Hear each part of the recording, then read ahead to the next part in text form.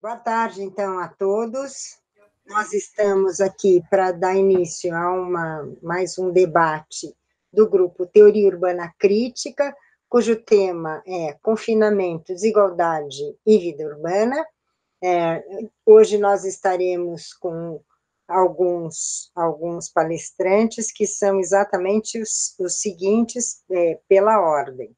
É, então, começa, começamos, começamos com a professora Ana Fani, é, passamos em seguida para o professor Gustavo Prieto, depois passaremos para o professor Paulo Colosso e para o professor Paulo César Xavier. Então, estamos é, né, na ordem. A professora Ana Fani é coordenadora desse grupo no IEA, é, e é geógrafa, professora titular da Faculdade de Filosofia, professor Gustavo Prieto é geógrafo também, coordenador do curso de Geografia da Unifesp eh, Leste, né, do campus Zona Leste. Professor Paulo Colosso é, é arquiteto e é professor eh, e é professor da Universidade Federal de Santa Catarina. Eh, e o professor Paulo César Xavier é sociólogo e é professor da FAUSP. Então, podemos começar, então, com, dando início a, a, a essas, a essa rodada de, de falas e para depois poder abrir a discussão, enfatizando, enfim, que essa é uma atividade do Grupo Teoria Urbana Crítica, coordenado pela professora Ana Fani, que tem como eixo a discussão do urbano e como mote a dimensão crítica que a gente, nós estamos tentando atualizar a cada reunião, a cada leitura, a cada mesa redonda, a cada debate. Bom debate a todos, espero que seja extremamente proveitoso e tenho certeza que será. Professora Ana Fani, por favor. Obrigada, Sibeli, obrigada a todos. Eu queria, antes de mais nada, dar o meu boa tarde a todos os meus colegas aqui no, no IEA e aos colegas e as pessoas que estão nos ouvindo de casa. Uh, eu vou começar com duas, apresentando a vocês duas imagens. Falarei a partir delas. Essa é uma imagem e na sequência nós temos essa outra imagem. Então eu queria começar mostrando para vocês essas duas imagens. Eu, eu não monte de uma coisa Bem, uh, eu queria então começar a minha exposição, não é, a partir dessas duas imagens. A, a, a primeira delas, no caso, eu, eu mostrei invertido, não é? A segunda delas é uma foto, uma das inúmeras fotos de cidadãos, cidadãos amontoados nas portas da Caixa Econômica, esperando pelo auxílio emergencial do governo. A segunda é uma charge que saiu hoje na Folha de São Paulo. No limite, podemos dizer que as imagens sintetizam a nossa realidade. Uh, elas apontam a barbárie que vivemos, não com a pandemia, que só veio agravar a situação brasileira de crise urbana sustentada pela extrema desigualdade. Essa essa barbárie já nos acompanha. Nós vivemos uma crise urbana que a pandemia vem apenas acrescentar um dado ainda mais tenebroso. A desigualdade, no entanto, virou uma palavra presente em todos os jornais, num discurso impactado pela descoberta de que o aumento do número de mortes pelo Covid-19 tem uma distribuição desigual, com maior incidência na periferia urbana. A palavra desigualdade soma-se uma outra. As mortes ocorrem nas áreas de populações mais vulneráveis. Ora, a desigualdade é um conceito que expressa a existência de uma sociedade de classes, que transforma os indivíduos iguais em indivíduos desiguais. A desigualdade, portanto, é uma condição social e não natural, nem tampouco é uma palavra, é? Uh, como tem aparecido destituída dos seus conteúdos. Vivemos numa sociedade hierarquizada, onde os cidadãos participam de forma desigual da distribuição da riqueza gerada pela sociedade, o que se revela no modo como os grupos vivem e têm acesso aos lugares eh, de vida na cidade. A hierarquia social se concretiza como uma hierarquia espacial. A segregação urbana é a expressão deste processo. Segregação não como simples separação dos grupos no espaço urbano descontínuo, mas como um produto do movimento de realização da propriedade privada da riqueza, que na produção do espaço urbano revela-se através da propriedade privada do solo, como uma expressão da riqueza. As formas da segregação revelam a propriedade em seu sentido pleno, que é a propriedade privada. Nessa condição, a propriedade, como abstração, paira na nossa sociedade e delimita os modos através do qual essa sociedade, em seus grupos, em suas diferenças, vai se apropriar do espaço. Tal situação cria confrontos que se desdobram na luta pelo direito à cidade, seja através das lutas por moradia, as lutas por serviços mais diversos, transporte, saúde, habitação, escolas. Os acessos diferenciados à cidade produzem a contradição centro-periferia. Já a mancha urbana expande-se em direção a uma periferia que é bom esclarecer, não é homogênea, mas em seus contrastes marca uma relação entre o centro, as áreas centrais e as áreas periféricas. Áreas periféricas, porções dessas áreas periféricas, são ocupadas por um vasto uh, número de pessoas, né, pertencente a grupos sociais, dos cidadãos com extrato de renda baixa ou de, das rendas mais baixas. Segundo o mapa da desigualdade, o Brasil tem 50% da população mais pobre recebe apenas 13,9% do rendimento bruto dessa sociedade. A chamada classe média, que corresponde a 40% da população, receberia 27% da renda. Enquanto os 10 mais ricos, os 10% mais ricos da nossa sociedade, concentram 28% da renda. Então, esse é um primeiro dado a partir do qual nós podemos perceber a desigualdade. No período de 2014 a 2019, a concentração de renda aumenta no Brasil. Se nós medirmos essa concentração de renda pela variação da renda do trabalho, produto do trabalho, para essa população, para essa faixa populacional de 50% da população de renda mais baixa, a renda do trabalho diminuiu 17%. Os 40% da sociedade que representa a classe média tiveram uma diminuição de 13%. Mas aquela população, os 10% mais ricos, né, a sua renda em relação ao trabalho aumentou 13%. Né? Então, uh, esse, esses são os sinais da desigualdade vivida na, na sociedade brasileira. Então, a desigualdade, ela é real, ela não é um discurso. Ela se refere ao conjunto de cidadãos destituídos de direitos, ignorados. No plano da vida cotidiana, essa, essa desigualdade ganha concretude. Um exemplo claro é a concessão do governo ah, de auxílio emergencial do governo, que vai gerar votos para ele próprio mais para frente, que nós temos assistido nos últimos dias. A distribuição do auxílio coloca o cidadão numa situação de humilhação, que vem do cansaço das filas que começam ainda de madrugada, das pessoas sem dormir nas filas, em condições sanitárias questionáveis, pela ausência da separação entre as pessoas, por serem sem infiltração de fura-filas. Os lugares nessas filas são, chegam a ser vendidos por 100 reais. Não é? Uma fila para aqueles não é, que esperam ganhar 600 reais. É um cenário desumano. Se o isolamento social é uma estratégia indicada pela Organização Mundial de Saúde para diminuir as possibilidades de expansão do contágio do Covid-19, o que vemos é o seu contrário. A fila é o, é o sinal mais evidente do processo constitutivo da nossa sociedade, a qual o acesso à riqueza define uma hierarquia social que se materializa nas possibilidades e nos lugares onde elas vivem.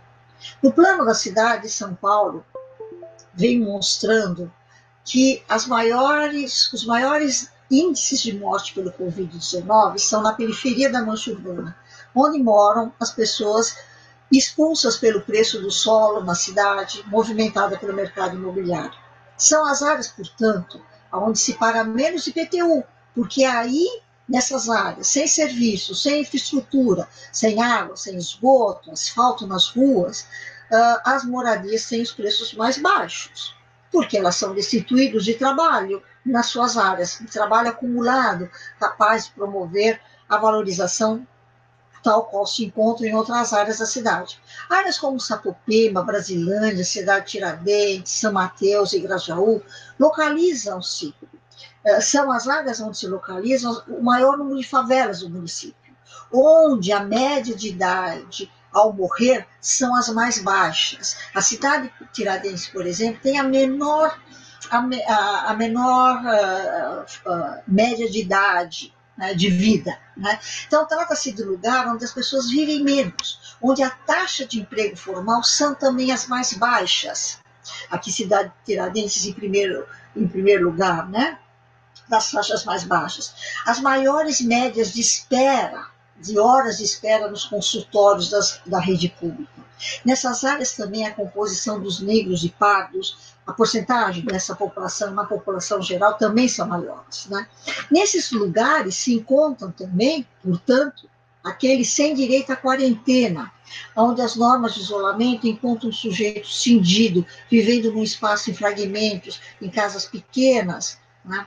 Aonde nem sempre sai água das torneiras, aonde nem sempre ter comida na mesa. É? Esses poucos dados dessas situações vividas não revelam vulnerabilidade nem perversidade do processo de urbanização mas a violência com a qual a urbanização se produz. O modo como a essa urbanização representa o modo como a sociedade pensa o futuro, o modo como o Estado distribui o orçamento público e o modo pelo qual ele direciona as políticas públicas. Ora, as políticas públicas neoliberais não fazem mais do que diminuir os custos, os gastos sociais, extinguir empregos, empregos, flexibilizar contratos de trabalho, até chegar à indecência do contrato de zero hora. As, eh, as, políticas liberais, como a professora Sibeli já sinalizou na segunda-feira, elas se fazem com uma diminuição dos gastos com saúde e educação. Né? Por exemplo, a professora também citou que entre o ano de 2018 e 2019, a saúde, os gastos de saúde diminuíram 20 bilhões, mas nós podemos também perceber que os, os custos eh, os investimentos na defesa, eh, eh, na, no orçamento das Forças Armadas, ao mesmo tempo, aumentou em mais de 20%. Os jornais escancaram nos últimos dias as alianças de um governo que distribui e que troca verbas públicas por votos aonde o presidente vai ao Supremo com lobistas empresários, pressionando-os a agirem de acordo com a lógica do crescimento. Essas ações se fazem contra a sociedade. O déficit de democracia vivido acrescenta a essa situação de tragédia, impede que a sociedade indique suas necessidades e o modo como se deve governar, e aponte o modo como se deve governar e como se deve distribuir o orçamento público a lógica do crescimento econômico que move a nossa sociedade vem acompanhada da violência. E aqui eu não estou falando de criminalidade, mas eu estou falando da pressão que a centralidade eh, de uma política centralizada no crescimento aparece como uma violência. O plano da vida cotidiana é o lugar da imposição do poder, da riqueza e da ordem planificada do espaço e, e do tempo que atinge diferencialmente os membros da sociedade. Portanto, é na cidade, no plano do lugar, que o drama urbano ganha sua face desumana, que em tempos de urgência, como nós estamos vivendo, ganha visibilidade, porque o resto do tempo, quando nós não estamos na urgência, eles estão escondidos, essa situação se encontra escondida. Porque nessa sociedade desigual, os direitos são desiguais. Esse momento vai produzir uma contradição entre as ações solidárias que sustentam as urgências e as ações que exigem o fim das condições que criam as urgências.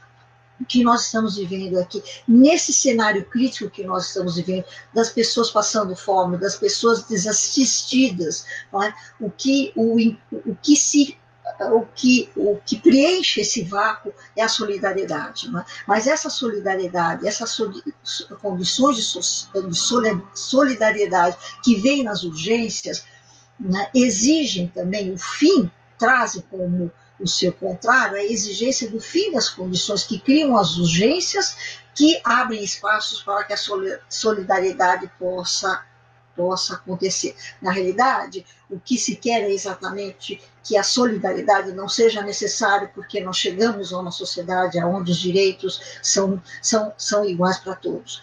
Nessa sociedade urbana neoliberal, ela não é destituída da barbárie, que tem por conteúdo o homem despojado da sua identidade, imerso numa prática socioespacial cheia de normas, de interditos, marcadas por apropriações eh, eh, privadas, confrontando com a miséria vivida por essas pelas pessoas, pelos cidadãos. As situações de, de pandemia ilumina, eh, as situações que a pandemia ilumina são sinais evidentes da existência das forças mutiladoras do sujeito. Essa condição de não sujeito revela-se nas formas segregadas, através das quais o urbano se manifesta no plano do vivido, concretizando-se nesse plano. A privação do urbano caminha com estreitamento, portanto, da dimensão do humano, enraizada numa prática cotidiana de indiferença e de privação. As políticas de urgência vão acompanhando a vida nacional, porque nessa sociedade desigual o crescimento se faz contra a vida. A crise causada pelo Covid-19 expõe uma realidade urbana em sua crueza, iluminando essa crise que, urbana que se aprofunda dramaticamente na, ao mesmo tempo, na mesma na proporção inversa à, à concentração da riqueza. A pandemia com a qual nos, nos deparamos hoje reitera a profunda desigualdade social inaugura o período humano, um período inumano. Um, era isso que eu tinha a dizer. Obrigada.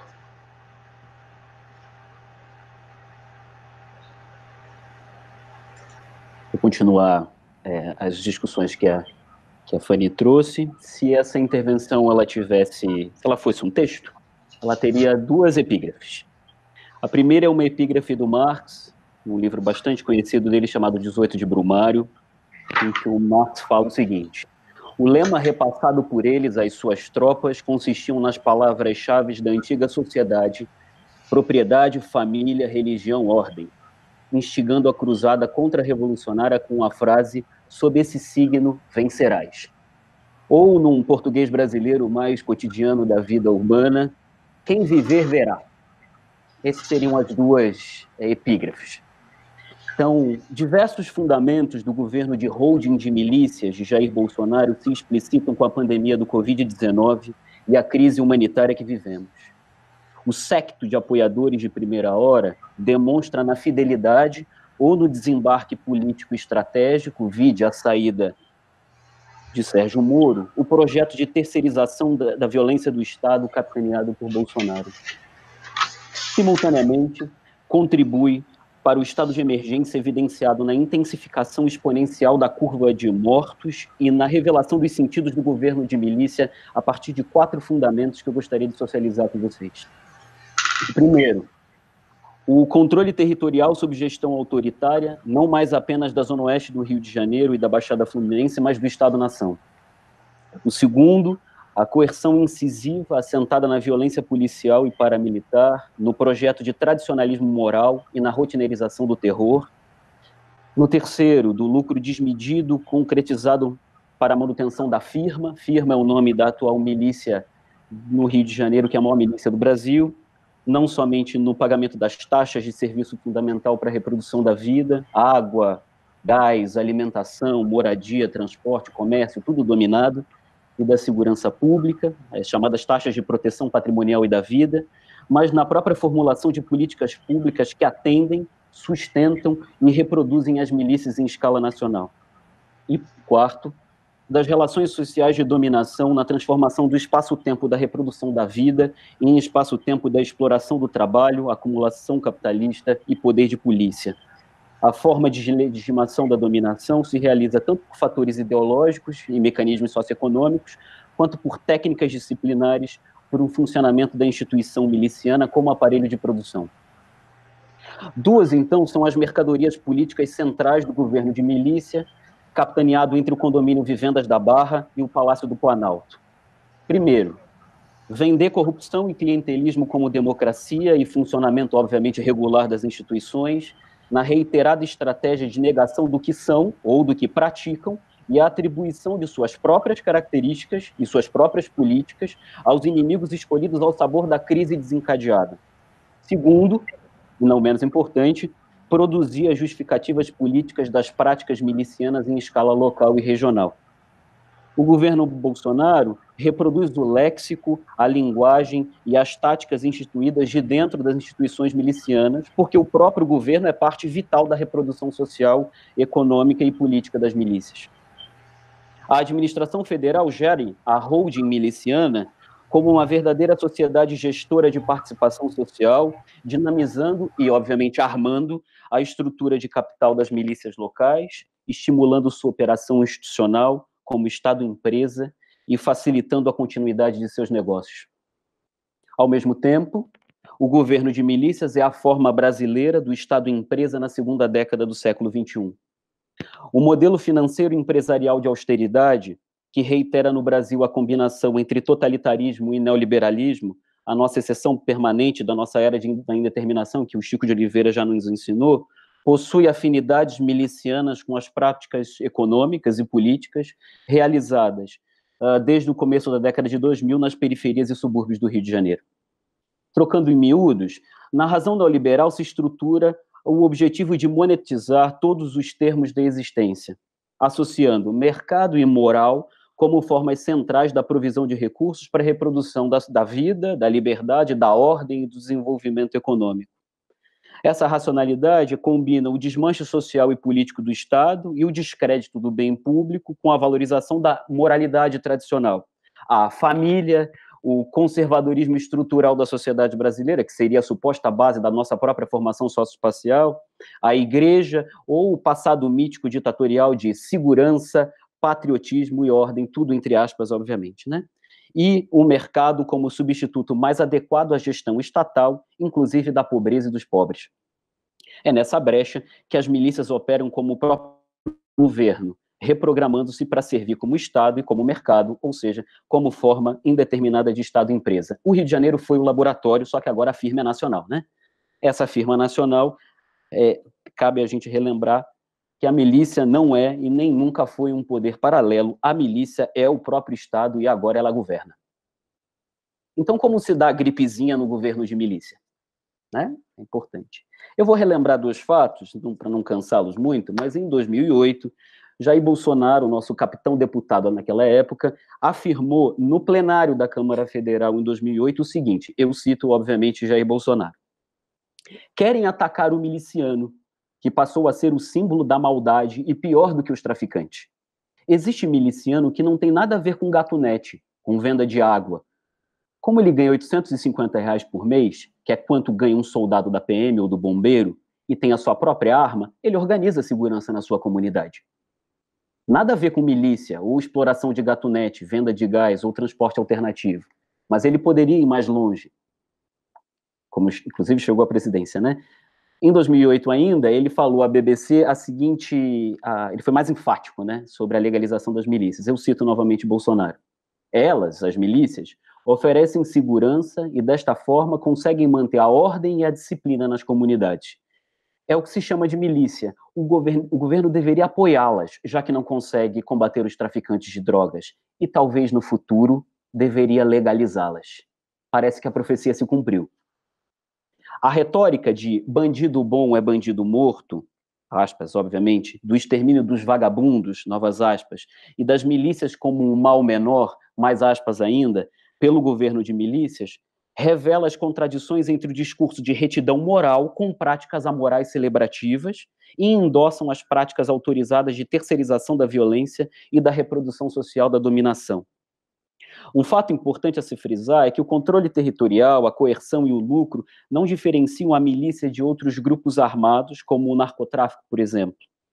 No começo dos anos 2000, as milícias se apresentavam como os sucedâneos dos grupos de extermínio da ditadura militar, como muitos já estudaram, dos matadores de aluguel, da chamada polícia mineira, das máfias de van, dos grupos ligados aos chamados jogos azar, de azar ilegais, como caça-níqueis, o jogo do bicho. Os traços mais marcantes foram descortinados pela CPI das milícias de 2008, que referendavam, sobretudo, o discurso de legitimação e a participação ativa dos agentes públicos, especialmente ligados à Polícia Militar e às Forças Armadas. O discurso de legitimação relativo à proteção dos habitantes era um ponto central da milícia. Ela se apresentava como proteção contra a ameaça do crime, contra o mal maior simbolizado pelos narcotraficantes e, obviamente, também pelo próprio Estado, como aquele que não provinha os serviços, infraestrutura básica e segurança pública aos bairros e municípios periféricos do Rio de Janeiro. Há, entretanto, uma reprogramação política das milícias, e essa é uma aposta minha, especialmente na década de 2010 seu terreno fértil para expansão envolve a reprodução das relações de produção ao nível da vida cotidiana, marcado pela privação do urbano e pela segregação socioespacial. Ou seja, um desmanche generalizado e continuado desde a década de 90 e as políticas econômicas de fortalecimento do capital, fundamentado no princípio de mercado, da governamentalidade onipresente e com a gestão da pobreza relegada às entidades e instituições privadas, as milícias articulam o que aparece como Estado na periferia do urbano polícia, ONG, igreja e, atualmente, e não menos importante, o narcotráfico, sintetizando a ideologia, os mecanismos econômicos e as táticas de disciplina de gestão socioespacial da pobreza, combinando as pautas políticas de extrema-direita em ascensão em escala mundial, libertarianismo econômico, moralismo, autoritarismo, nacionalismo, ódio ao Estado, conservadorismo cristão e também racismo. Ao monetarizar e dominar a parte expressiva do poder de expansão das relações de mercado e a razão neoliberal do empreendedorismo em favelas e periferias, a milícia maximiza os rendimentos políticos e econômicos e minimiza resistências. A construção, eu não vou me estender, porque já avancei bastante, a construção, por exemplo, de centros comunitários por essas milícias deveriam ser olhados com mais atenção. queria falar só rapidamente é, sobre um assunto que não é menos importante, é que atualmente um dos chefes, na verdade um dos ex-chefes da, milícia, da principal milícia do Rio de Janeiro, que se chama Jerominho, é candidato à prefeitura do Rio de Janeiro, é pré-candidato pelo Partido da Mulher Brasileira, SIC. Né? Ele afirmou em entrevista em fevereiro de 2020 que Jair Bolsonaro, tal como ele, quer o bem do Brasil, não tem envolvimento com a milícia. Em vídeo difundido pelo WhatsApp no começo de abril de 2020, ele afirmou que, como um coração valente, esse é o lema de campanha dele, e a gente vai relembrar um outro momento também que Coração Valente foi retomado como uma questão. Vai às ruas com alguns guerreiros, eu cito Jerominho, obviamente, para matar o coronavírus e outros germes. Cuidado, talvez vocês sejam os germes, né? Em consonância com a narrativa do governo de, de milícias, ele afirmou categoricamente, categoricamente, eu cito o Jerominho, tanta gente morrendo e não é de coronavírus, morreu por uma doença qualquer, bota lá na agenda de mortos pelo coronavírus. Há de se relembrar que Campo Grande, bairro periférico, maior bairro do Brasil em termos populacionais, inclusive, é o lugar com o maior número de mortes pelo Covid-19 na cidade do Rio de Janeiro, dados agora de maio de 2020 uh, relatórios diversos, por exemplo, da Iniciativa do Direito à Memória e Justiça é, Racial, uh, colocam que as milícias andam ordenando a reabertura do comércio para que não fate o pagamento das, das taxas cobradas, apesar das orientações para a manutenção do isolamento social. A milícia, então, funciona como uma verdadeira autoridade pública, porque ela governa e é o Estado. Os relatos são explícitos. Eu cito apenas um para não me alongar mais é, da Baixada Fluminense. Eles chegaram na minha casa e falaram que se eu quisesse manter a quarentena, teria que continuar pagando a taxa. Para bom entendedor, meia palavra basta, tive que abrir meu barzinho. Outro, por causa do vírus, a gente não pode pagar nem as contas, quanto mais eles. Outro dia fatou até o do pão para tomar café de manhã. E vão lá em casa para pegar dinheiro? Não tem como. Washington Reis, o prefeito de Caxias. Caxias é uma das cidades com a maior a votação proporcional para Jair Bolsonaro nas últimas eleições de 2018. É, cidade dominada pelas milícias, relutou ao máximo em determinar o fechamento do comércio, e eu cito o prefeito Washington Reis, que afirmou que a cura virá de lá, da igreja, dos pés do Senhor. É, não vou me estender, mas as milícias dominam na, só na cidade de Caxias, mas em outros municípios da Baixada Fluminense, uh, as consultas, exames em hospitais públicos e dominam todo o rito funerário, cartórios, as próprias funerárias e cemitérios, um conjunto de ocultamento de cadáveres já está sendo relatado por diversos das, dos informantes e fontes de gente que tem estudado mais de perto, né? Só para relembrar que há um duplo caráter das chacinas, que é operado pelo governo de milícias no processo simultâneo de extermínio e desaparecimento de corpos que são desovados em estradas e córregos, mas agora também em leitos de hospitais superlotados sem testes para Covid-19. Além disso, não podemos esquecer que o, papel ativo das igrejas, em especial as pentecostais e não pentecostais, para a realização da, da, troca de mercadoria política com o governo de milícias. Cito algumas falas interessantes. A primeira delas é do Edir Macedo, que disse que para estar ileso ao coronavírus é preciso ter coronafé e do pastor Ronaldo, da Catedral Mundial da Fé, que falou que se a senhora tem que trabalhar com dinheiro, se a senhora pagar, pegar uma nota, se a senhora não tiver a proteção de Deus, até com aquele cédula o vírus entra. Para a gente não esquecer, é importante relembrar, é, as igrejas devem a tem como dívida ativa da União 1,6 bilhão de reais, só a Igreja Internacional da Graça acumula 144 milhões de reais de débitos inscritos uh, na Receita Federal e no meio da pandemia houve uma negociação entre o deputado federal é, David Soares, que é o filho do R.R. Soares, com o atual secretário especial da Receita Federal para anulação dessa dívida. Por fim, eu queria só para citar e para terminar minha intervenção, é, relembrar a fala do pastor Silas Malafaia no dia 19 de março, na Assembleia de Deus Vitória em Cristo, também no bairro de Campo Grande, esse malfadado bairro, ele fala o seguinte: é a solda dessa união, que é a solda essa união, né, entre neopentecostais e governo de milícias. Aqui é o lugar de maior proteção que pode existir. No mesmo dia, o Bolsonaro afirmou que Deus é brasileiro e a cura está aí. Estamos todos protegidos no governo de milícia. Esqueçam as máscaras, não precisa. Obrigado.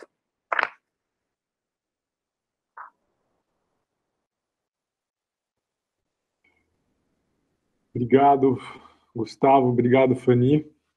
Muito bom estar numa mesa com vocês. Fico muito contente aí pelas, pelas falas. Boa tarde a todas e todos também. Queria, então, uh, meu argumento aqui hoje vai ser de que, para pensar e agir nas cidades diante desse quadro de crise sanitária, política, social e econômica, precisamos estar cientes de que nossa sociedade produziu, ao mesmo tempo, o melhor e o pior. E precisamos enfrentar com uma postura ativa essa contradição gritante. A pandemia é um trauma coletivo que desfaz o cotidiano ela nos coloca quase num estado inesperado de, de, de irrealidade. Né? Faz 60 dias que o único contato físico que eu tenho é com minhas plantas. A próxima vez que eu tocar alguém, com certeza vai dar choque. Mas esse choque, esse trauma coletivo, ele também nos leva a um distanciamento, que é como eu gostaria de começar, com esse recuo histórico. Nós fomos impactados por duas grandes crises nas últimas décadas. A primeira foi a crise econômica global, de 2008, que levou a uma crise de representação, cujos ônus sociais são sentidos até hoje. A segunda crise da pandemia, agora em 2020, é alavancada pela anterior. Esses são os dois marcos históricos mais relevantes do século XXI, e eles têm alguns pontos em comum. Primeiro, ambos tiveram uma escala global. E segundo, eles mostraram que as democracias capitalistas só continuam a ser chamadas de democracias por força do hábito. nos momentos adversos, há uma distribuição extremamente desigual dos ônus, da instabilidade e dos sofrimentos. A população do sul global, as populações do sul global são as que mais morrem. Populações nas favelas, nas periferias, nos cortiços, também são as que mais morrem. Isso é assustador? Isso é doloroso? É. Mas no Brasil há mais de 6 milhões de famílias sem uma moradia digna. 35 milhões de pessoas sem acesso à rede de abastecimento de água e 100 milhões de pessoas, quase metade da população, não tem acesso à rede de coleta e tratamento de esgoto, cujo destino final é frequentemente rios, córregos, praias e lagoas. Às vezes, três, quatro, até cinco famílias dividem uma, uma unidade habitacional. Essas condições negadas à grande parcela da população são o básico do básico. E essa realidade já está aí faz muito tempo. Outro ponto sobre a desigualdade dos bônus e dos ônus.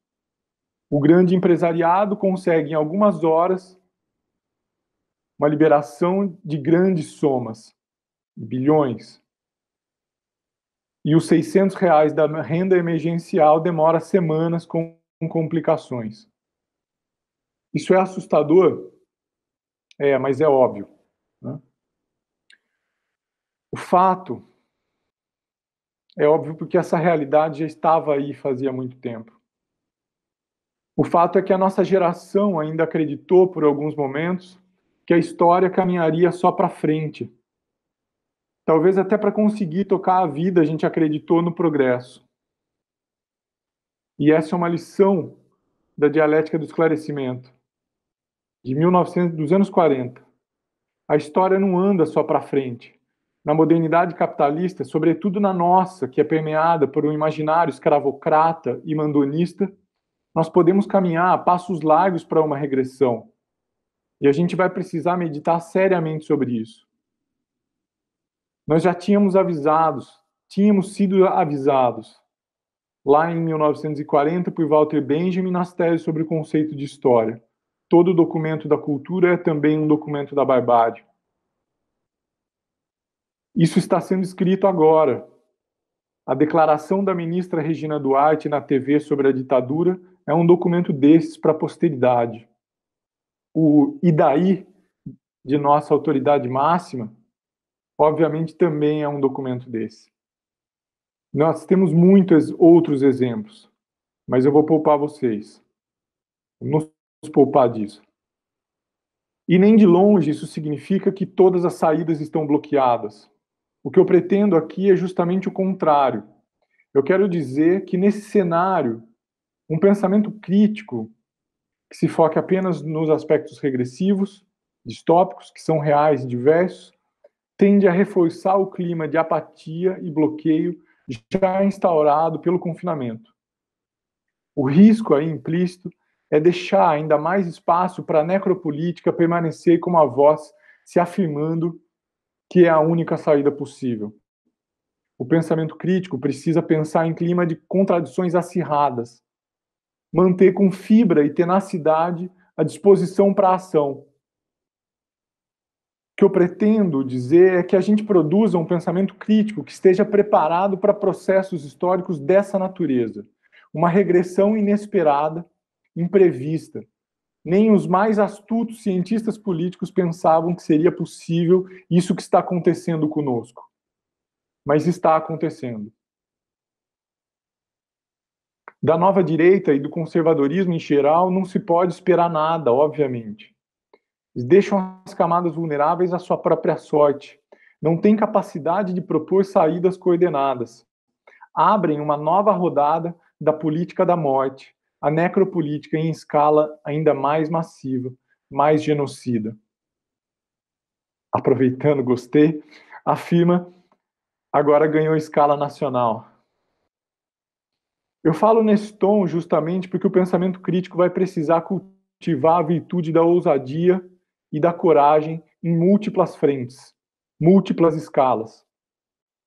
Nós vamos ter que subverter ao mesmo tempo, diariamente, o conservadorismo e a melancolia, o cinismo do poder e a apatia que ele gera. Vai demorar para que a gente possa fazer aglomerações, mas não precisamos esperar até lá.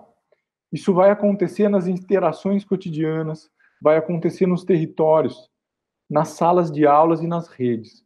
Ainda é difícil sair na rua, mas é como se saíssemos.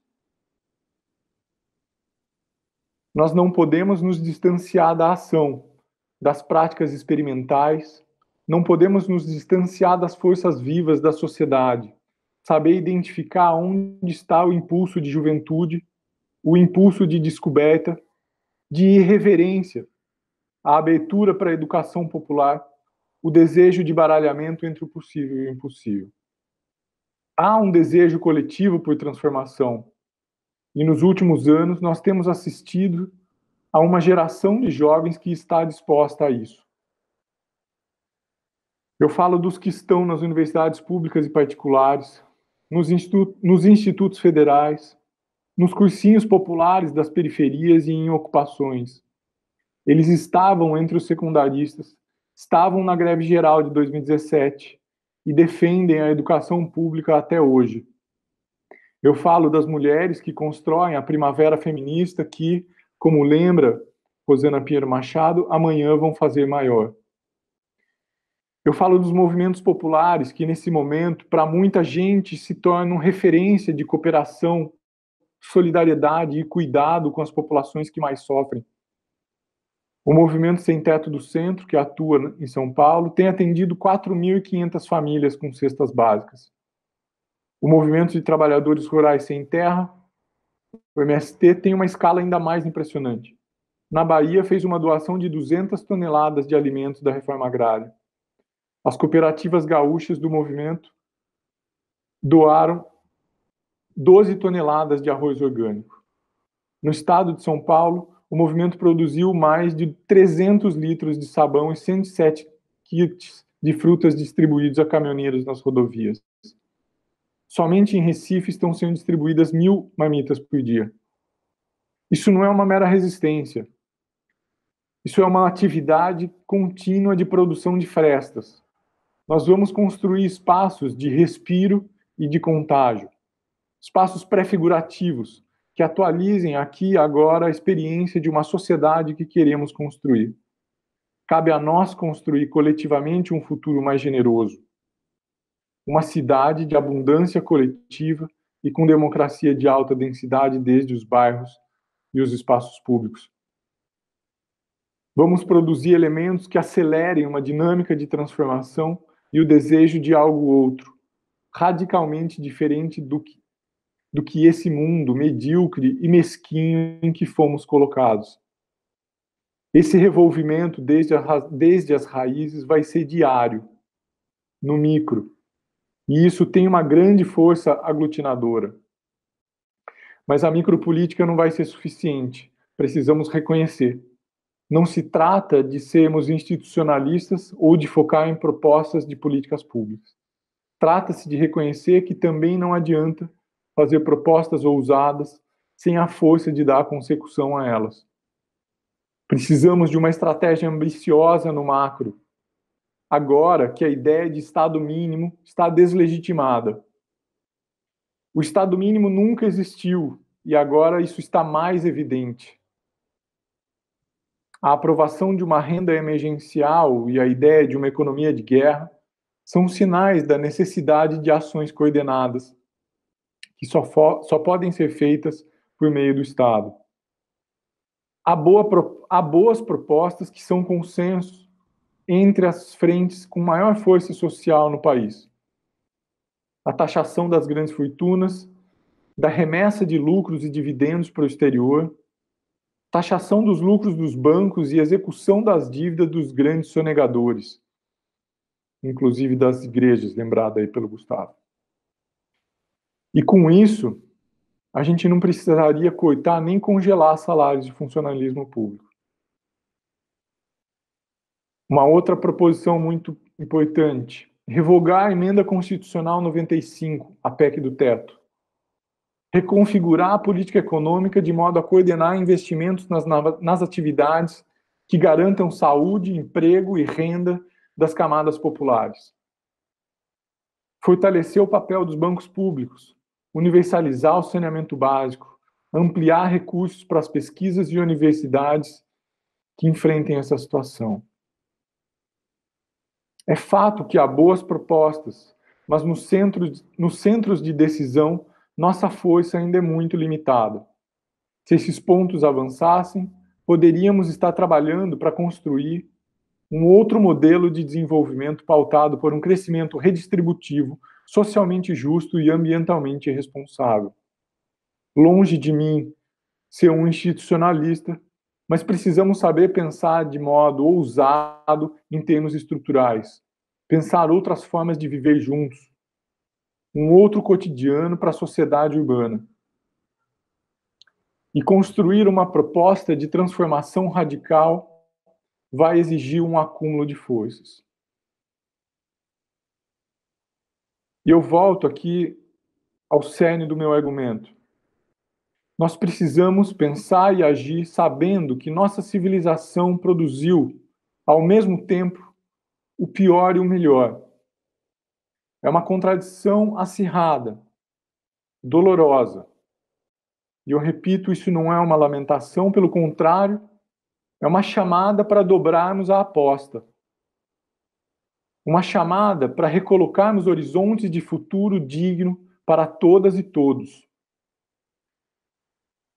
No momento da crise, em momentos de crise, reaparece com força um tipo de ação e um desejo por agir em nome de algo grande, algo inegociável, um desejo de fazer e participar da história. O conservadorismo e a necropolítica pediram truco. A gente vai ter que chamar seis. É isso, obrigado.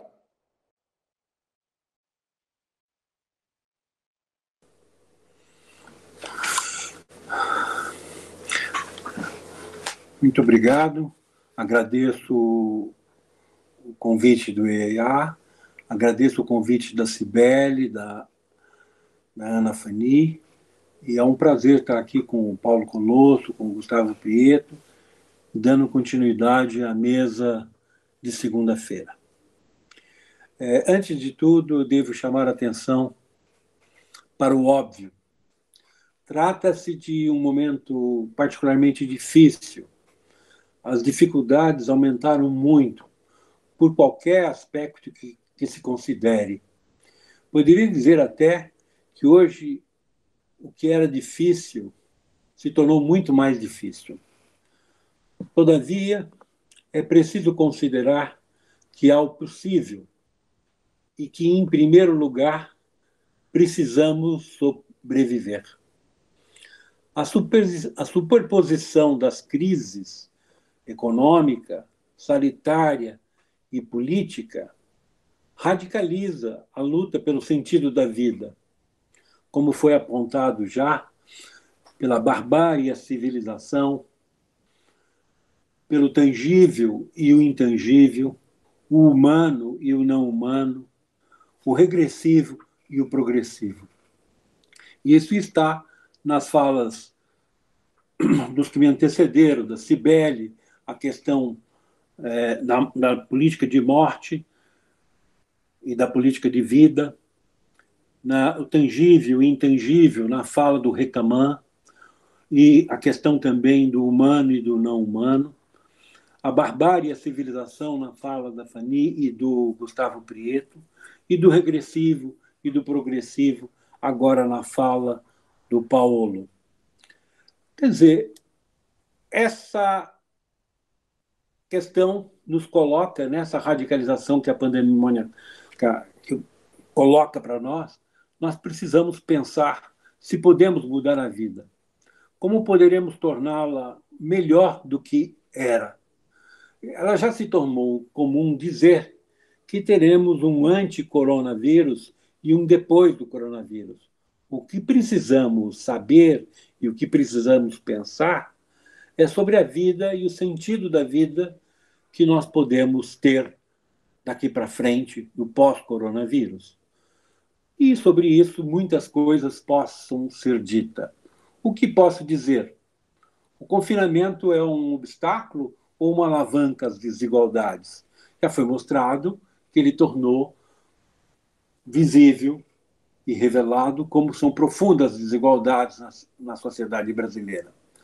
Como as, as desigualdades se revelam pelo confinamento, nas condições urbanas e habitacionais, como no rodízio dos carros ímpares e pares, nos vírus que já atinge fortemente as pessoas das áreas com habitações e urbanização precária, embora tenha entrado por aviões e aeroportos. Na próxima semana, o rodízio será cada vez mais é, por placas é, pares e ímpares.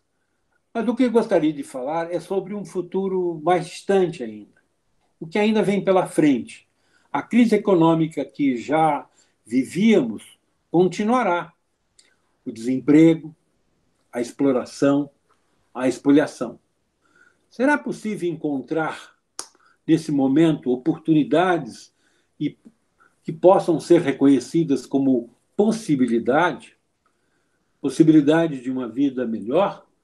Não é o caso de formar, de formular respostas imediatistas, mas de procurar possibilidades nesse tempo em que tudo se tornou fugaz. Falar do futuro, não sobre um futuro pensado como futuro presente, é, que hoje nós podemos pensar tanto como atividade ou como expectativa. Como atividade, as pessoas, nós podemos fazê-la pela, pela ação que molda a própria atividade, o que se pode fazer. Como expectativa, essa é a experiência passiva. E se o medo dominar, é o pior cenário.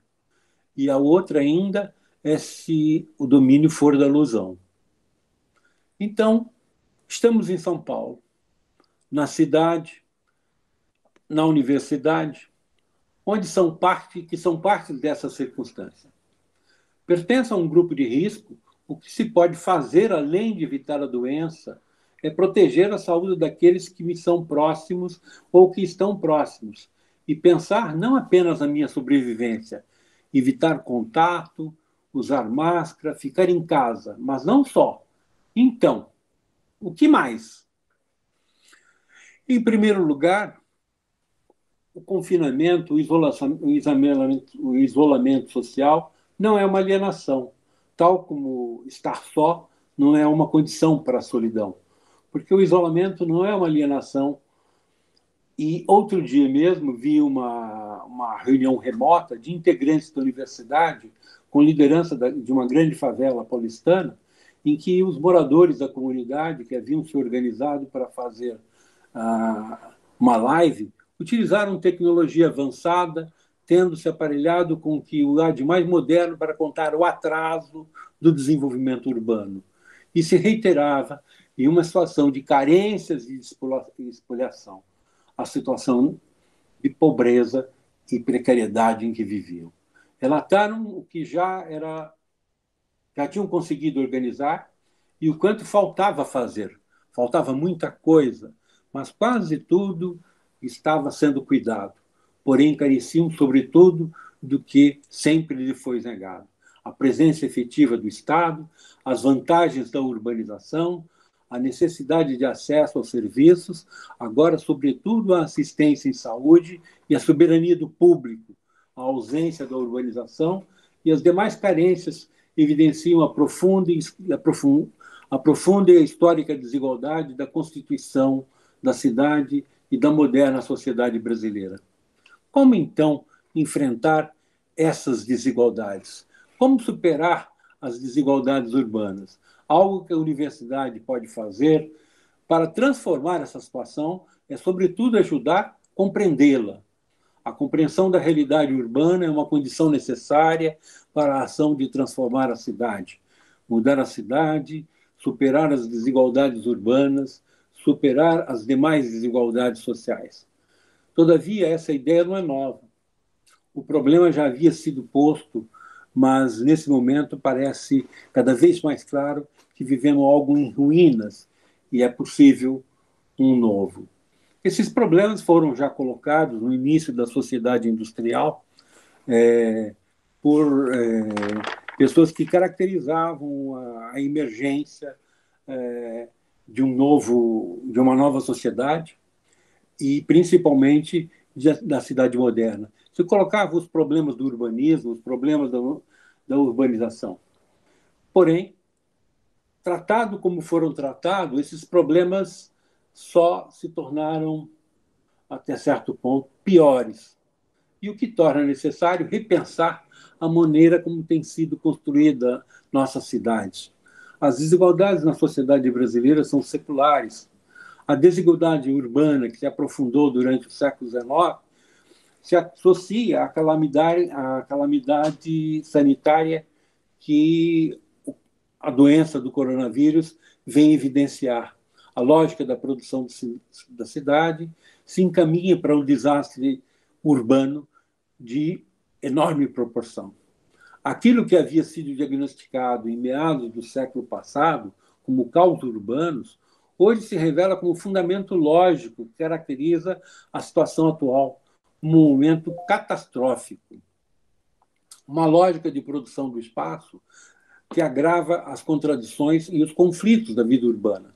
Terá que ser a percepção crítica dessas contradições e a organização coletiva para enfrentar esses conflitos, a base para formular o remédio e encontrar os meios para superar a situação calamitosa nesse momento de catástrofe. Ah, então o remédio continua o mesmo? Não. A sociedade prosperou e também as condições para essa transformação. Uma primeira condição já foi mencionada: a tecnologia. Talvez, como a ciência, já foram pensadas como o mais importante para o desenvolvimento técnico em si, ou seja, para a formação do capital fixo. Mas o aumento desse capital tem levado sempre a, a mais da mesma coisa. Por isso, cabe considerar a tecnologia não, a menos, não apenas como um fator de crescimento técnico, de um crescimento econômico, ou seja, a partir da inovação tem se repetido o essencial da reprodução capitalista, reduzir o tempo necessário para aumentar o trabalho excedente. Por isso, antes de discutir a tecnologia como possibilidade, como condição ou base para a transformação social, há que se considerar outros quesitos é preciso considerar que as transformações significativas trabalha, dos trabalhadores do trabalho levou com que trabalhadores perdessem seus empregos e que muitos dos mais jovens nem têm conseguido adentrar o mercado de trabalho. Em sincronia a essas perdas, muitas famílias não conseguem acompanhar a elevação dos preços do aluguel e manter o acesso à moradia digna. Dessa maneira, o desemprego e a pressão o, sobre o trabalhador provocam a redução do salariamento e, de outro, a elevação do aluguel. Ambos movimentos acabam por acelerar a precarização urbana e o aumento da quantidade daqueles que vivem em condições de rua. Esse é o quadro da crise que já vinha se apresentando antes do confinamento, antes do, do coronavírus. Agora, com o confinamento, teria se escancarado. Por isso, há que se considerar que já havia uma crise antes dessa e que a atual se soma e se evidencia. E é assim que se ganha visibilidade que uma porção da população que não tem casa para ficar, tem fome e que vem se somar àqueles a quem falta dinheiro. Sendo tamanha a desigualdade, qual sentido se pode dar ao confinamento? Pensar o confinamento apenas como proteção à vida pensar o, o, o confinamento como uma, como uma possibilidade de transformação social, mas isso só seria possível somente se o Estado se apresentar. Porém, como, como crer em proteção à vida quando é mais fácil acreditar no fim do mundo do que no fim do capitalismo? E mais, se antes já estava em curso uma mudança que propunha o fim da Previdência, a redução das garantias e a, ameaçar e ameaça a, ao direito à cidade, a possibilidade de transformação social mudou. E lembremos houve uma surpresa antes do coronavírus e há um novo depois do coronavírus. Que esse tem que ser construído a partir do possível e nesse exato momento. A tecnologia, a ciência, a inovação precisam ser postas a serviço da vida. As, as, é, o confinamento evidenciou a desigualdade e o alimento tem que chegar onde, inclusive, sempre faltou. Há que ser possível comprar, mesmo quem não tem dinheiro. É necessário a indenização do brasileiro para que ele precise ser, né, que ele precise ter renda assegurada e acesso ao mínimo para assegurar a sua sobrevivência. E nessa luta, a ciência, a inovação, a tecnologia deve entrar nesse processo de radicalização que nós mencionamos anteriormente. Deve servir para uma política de vida contra a morte, deve servir para uma política do humano contra o não humano, deve servir para uma política civilizatória contra a barbárie e do, e do progressivo contra o regressivo. A possibilidade de regressão está posta, mas a possibilidade de morte está posta, mas a unidade da ciência, da tecnologia, em termos é, a serviço do público, poderá dar um outro sentido para esse momento histórico que nós estamos vivendo. É isso que eu tinha que dizer.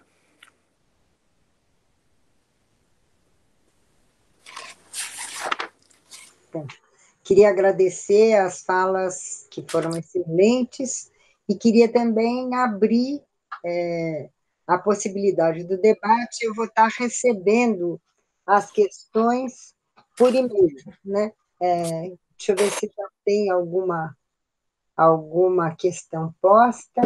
ainda não. É, então, por enquanto, eu mesma acho que gostaria de iniciar colocando para os quatro, uh, para os quatro expositores, é, algumas possibilidades de, de, da gente continuar conversando. Acho que é, vou começar pelo, pelo último, pelo Paulo César. Acho que tem uma, um elemento, Paulo César, que a gente talvez devesse é, considerar na nossa discussão, que é, é a própria condição de produção do conhecimento da ciência e da técnica, né?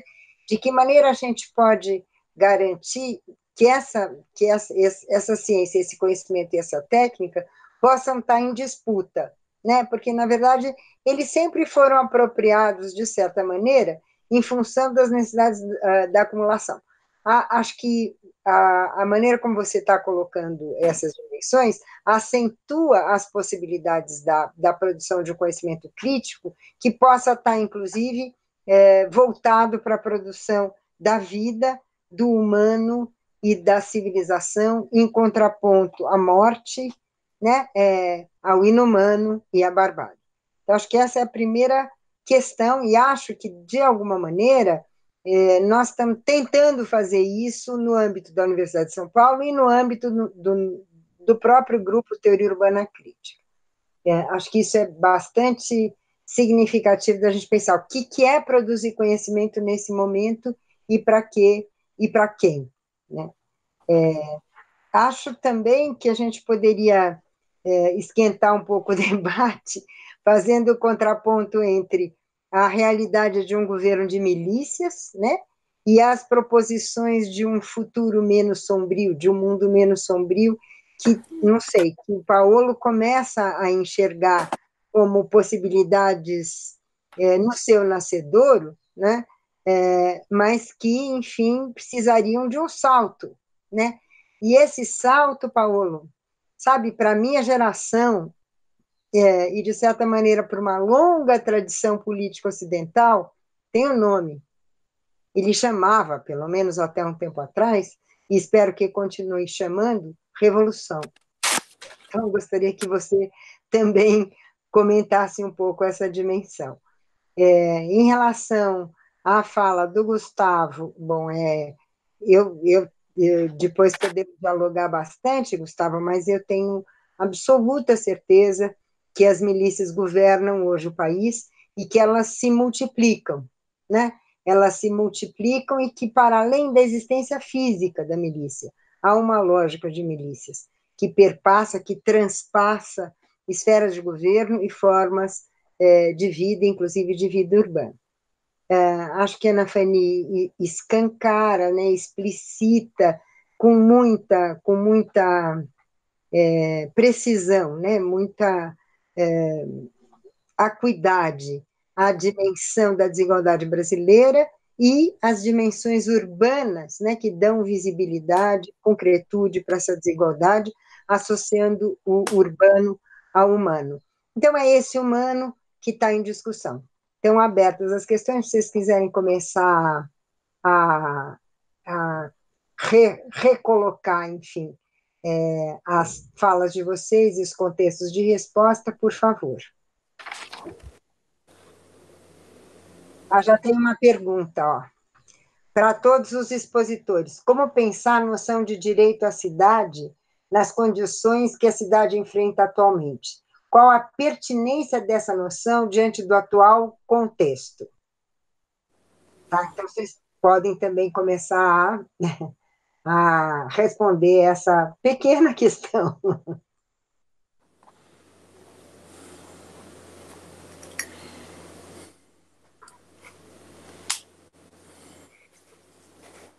Oi? Você quer que a gente comece pela acho mesma. Sim, pela ordem, acho que sim. Pela ordem, né? Então tá bom. Uh, veja, uh, o que eu sinalizei no que eu, que eu tentei expor rapidamente aqui é que nós estamos caminhando para um processo em que o humano tem se colocado sob ataque. Uh, é, é interessante perceber, ou trágico perceber, que nunca se enxerga o homem como um ser integral. Não é? Uh, mesmo nos trabalhos acadêmicos, o indivíduo ele é a força de trabalho ou ele é o consumidor. Né? Quando se pensa em direitos uh, para essa sociedade, se pensa em direitos de consumo, de acesso a serviços, uh, e muito pouco se pensa no fato de que, olha, nós, não, nós estamos tratando de pensar o futuro do humano. E esse futuro do humano nunca está posto. Né? É sempre o futuro de como é que nós vamos resolver os problemas da urgência. Então, quando nós somos postos apenas diante do problema da urgência, esse humano não aparece. Né? Ah, então, nós sempre estamos correndo atrás do prejuízo. Como é que a gente vai resolver essas questões? O que eu estava falando sobre a solidariedade, há, há pouco, e falei rapidamente, nós estamos diante o que a crise nos revela é que há movimentos né, e grupos sociais que trabalham em direção a conseguir trazer ou, ou, ou orientar suas ações no sentido de melhorar as condições de vida de uma parcela da população, ora aqui, ora ali.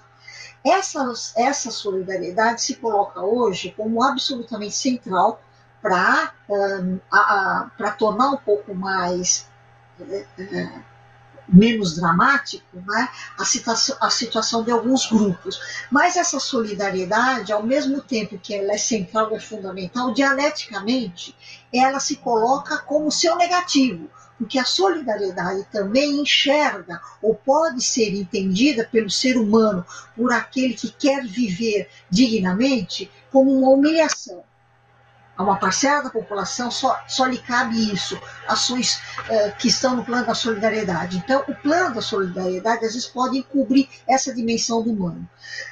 O debate sobre o humano é o debate sobre o direito à cidade. Né? Uh, por quê? Porque nós estamos diante do fato de que há, do, há várias possibilidades para compreender o direito à cidade tal como ela foi posta pelo Henri Lefebvre, o direito à cidade é um projeto utópico e a utopia faz parte do ato de conhecer. Né? Então, quando a, a Cibele coloca uh, que o, o, debate sobre o que é produzir conhecimento nesse momento, né? o que é produzir conhecimento nesse momento é um conhecimento que dê conta de explicar quais são as contradições que nós estamos vivendo, o que está no cerne do processo das contradições, né? para a partir daí pensar na, nas condições que privatizam e privam o humano. É? O direito à cidade como projeto utópico é aquele que questiona o fato de que a cidade seja apenas e tão somente um lugar de uma vida aonde o ser humano possa chegar a ter trabalho, casa, infraestrutura, né, em que ele se coloque como um consumidor de bens e serviços. O direito à cidade é o que está posto no horizonte para pensar como superar todas as condições de privação a, que, uh, que a cidade hoje uh, produz. Né?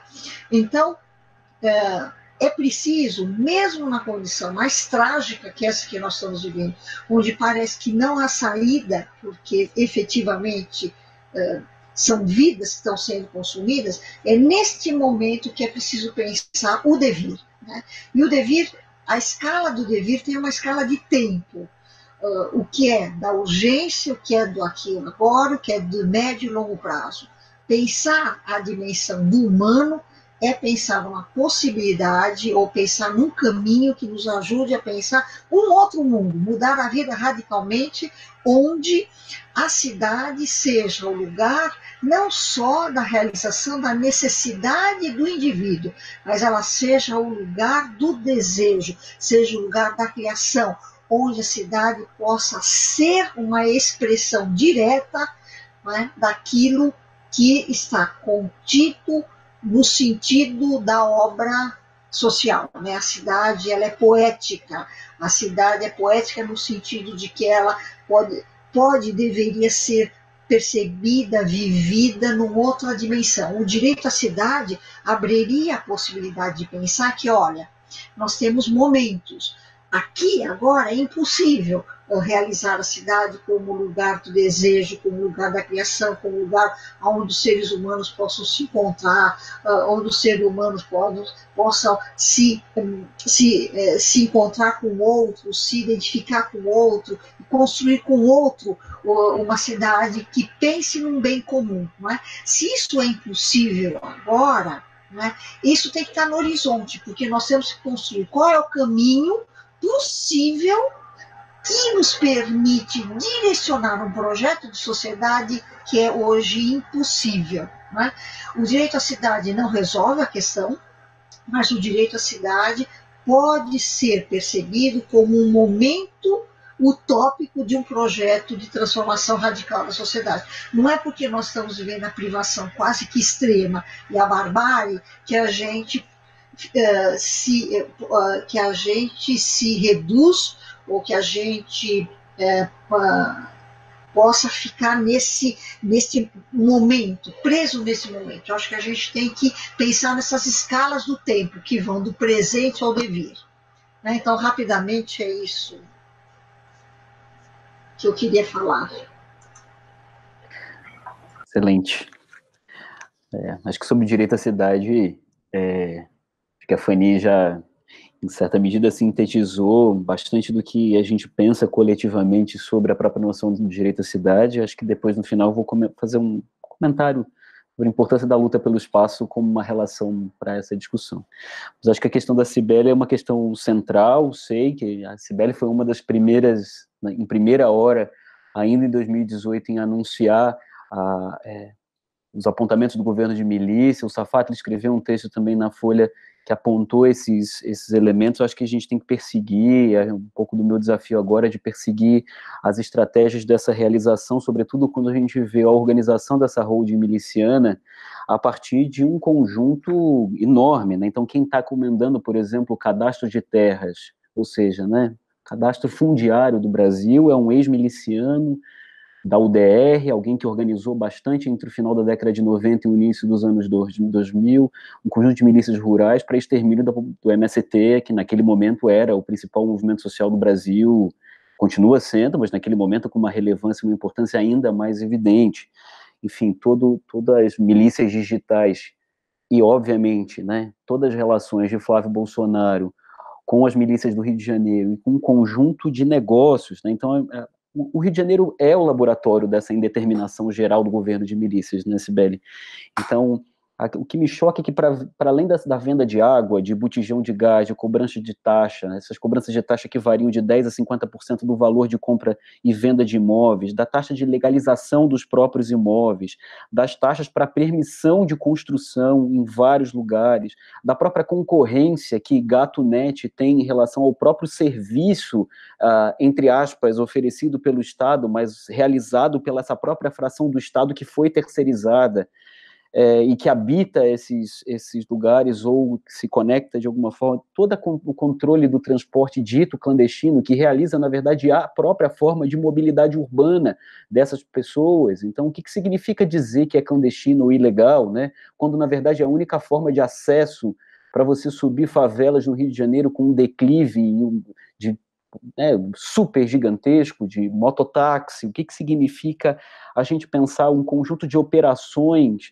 em relação à, à própria administração da grilagem de terra e de terra pública no Rio de Janeiro, ao lado da, da, das, das, obras das Olimpíadas, você tem um vastos terrenos públicos que foram. Isso não acontece só no Rio de Janeiro. Então, acho que o Rio de Janeiro funciona como uma síntese para a gente entender as próprias formas novas de construção desses imóveis e as coisas que são muito mais sofisticadas do que apenas esses elementos, que na verdade tem uma forma de. de enfim, a milícia que controla a, todas as.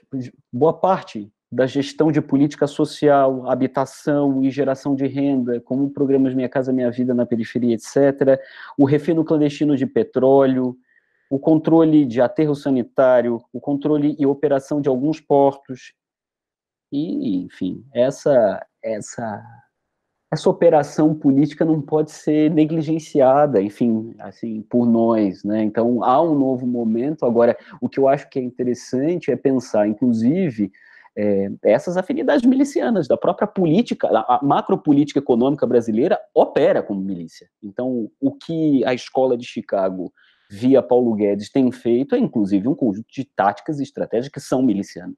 Não é possível a gente não imaginar que a saída de um presidente da República, junto com 15 ditos gestores e empreendedores do capital em marcha até o Supremo Tribunal uh, Federal, possa não ser uma, uma, uma, uma lógica de operação violenta, da própria violência constitutiva do capitalismo que a, que a Fanny relembra na fala dela, né, estrutural desse processo, para a gente pensar essas operações. Então, eu acho que, é, especificamente sobre o, o, direito à cidade, que eu acho que é uma, um elemento que a Fanny sempre aponta, tem vários das pessoas que estudam com a Fanny de uma maneira mais incisiva, é pensar é, a luta pelo espaço como um elemento funda, fundante. Né? Então, o que, em alguma medida, medeia na, no presente a urgência, a utopia é a luta pelo espaço. Né? Então, a, essa, a mediação entre a urgência e a utopia se realiza numa prática socioespacial que é de resistência, que é de luta pelo espaço, que é a operação política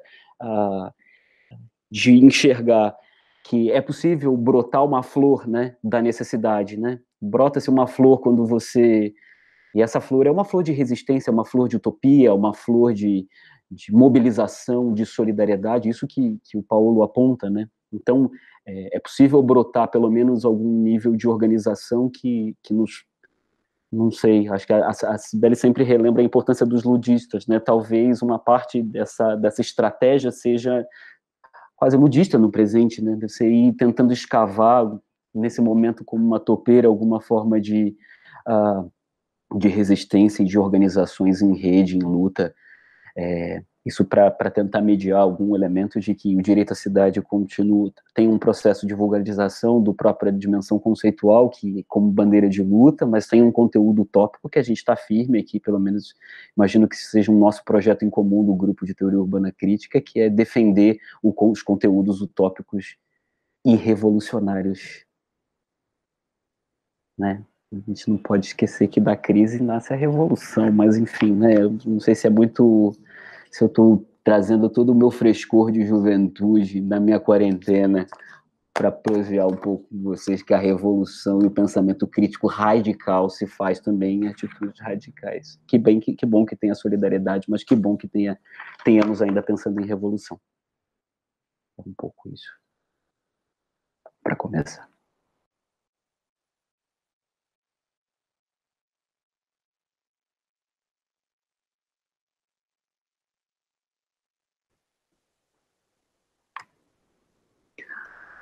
Eu não sei se o Paulo está com alguma dificuldade tecnológica, talvez a gente pudesse passar para o Paulo. Eu tô, eu tô, eu tô aqui, Gus, vou conseguir voltar aqui com, com 3G, mas acho que a gente pode passar para o Paulo e depois eu tento, que na verdade eu não peguei a questão da Cibele, mas deixa o Paulo responder e eu, eu tento no final. Perfeito, Paulo. Paulo César, por favor.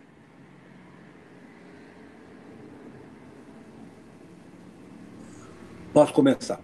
Então, eu entendi é, a, a pergunta que veio sobre direito à cidade é muito instigante, mas eu acho que nós estávamos falando dela o tempo todo. Quer dizer, é exatamente essa necessidade é, que vem que o confinamento, a pandemia põe para nós, no sentido das políticas de morte, da política de vida, a questão do tangível, que vinha da própria propriedade da terra, que passa pela propriedade imobiliária, e que hoje o que está em questão para obter renda, para o rentismo da, social do, desse capitalismo financiarizado, é a propriedade do conhecimento. Né? É a propriedade das tecnologias, da própria biotecnologia, da própria pandemia, está em jogo também. Nesse sentido, a pergunta que a, que a Sibeli coloca é muito pertinente. Quer dizer, a própria produção da ciência, da tecnologia e a inovação está posta, está como apropriada também. E aí é que nós temos que dar o sentido de vida a ela. E esse sentido de vida que nós damos assim como o sentido de humano, nós temos que recuperar para a questão do, é, do espaço urbano, e não no sentido do, do regressivo. Eu acho que nós não temos que lutar como topeira no sentido de voltar para os udistas. Eu tenho a impressão que a gente tem que fazer, pensar também em, no, no sentido progressivo da luta social. No sentido progressivo é, e, e, e, é claro que existe a possibilidade da regressão, mas nós temos que pensar exatamente nesse sentido de pensar o que, que nos leva para o progressivo, o que, que nos leva para o humano, o que nos permite defender a vida. E aí é que vem o papel do pensamento crítico na produção da ciência, da tecnologia e da inovação. É esse o trabalho que nós fazemos, é esse o trabalho que nós devemos pretender fazer na universidade, de tornar o pensamento crítico uma possibilidade de produção para radicalizar a, a, essas contradições e esses conflitos que estão postos na, a, pela pandemia, que estão postos pelo coronavírus, que vem sido sempre posto pelo próprio capital e que tem sido apontado sistematicamente pelas pesquisas urbanas. Quer dizer, ela vem, já foi mostrado aí, que já na década de, de, dos meados do século passado se colocava o problema é, do, do, que fazer com a periferia, do que fazer com os, com os bairros precários. E continuamos sendo dominados por esse tipo de, de interpretação, por um tipo de interpretação que, na verdade, é, vamos dizer assim, acomodou a situação do entendimento sobre o processo de urbanização do ponto de vista industrial. E que nós temos que defender exatamente esse devir urbano, esse devir humano, esse devir da vida, em que nós, numa, numa visão progressista, podemos articular essas necessidades da urgência essas necessidades da emergência específicas desse momento com o ideal de utopia, com, uma, com, com o ideal de uma, de uma proposta de uma cidade possível e desejada para os brasileiros. É esse o, o, o momento, é essa, é esse tipo de produção que nós devemos fazer. E isso é uma produção que pode sair do pensamento crítico, e, de certa maneira, da radicalização das próprias coisas, que, dos próprios contradições que estão sendo evidenciadas pelo coronavírus, né? que estão sendo evidenciadas por essa situação de pandemia. Né? Nós enumeramos, não sei se vale a pena enumerá-lo novamente, mas existe uma mediação entre o que nós podemos fazer de urgência emergente com relação à utopia. E é, esse, e é essa mediação que é a nossa produção teórica, que é a nossa produção da prática, que é o que a universidade pode fazer, o que a universidade permite fazer também, e que nós devemos fazer. Eu acho que é isso que nós estamos fazendo, tentando identificar essas contradições, esses conflitos e apoiar os sujeitos que podem é, articular essa mediação entre a urgência e a utopia. É claro que temos uma desvantagem enorme, porque não estamos aparelhados para se imiscuir nesse, tipo de luta que está se apresentando ao nível mais amplo e mais armado da sociedade. É, esse, esse é um problema que nós temos que pensar também. Né? E é um desafio novo que se apresentou exatamente junto com a pandemia. É uma das crises da representação política, que um aspecto extremamente é, desafiante da, que, que, que coloca, tanto quanto a questão da pandemia e do confinamento, a questão da clandestinidade, eu diria da luta. Como enfrentar isso? Né? Eu me lembro na, na questão, se você lê a história do momento da ditadura, as pessoas que iam para a clandestinidade viviam praticamente uma vida confinada.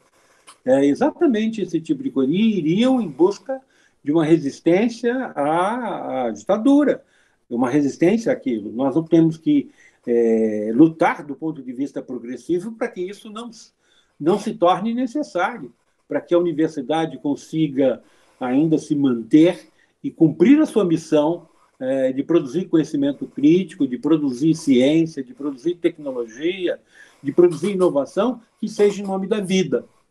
Isso é fundamental.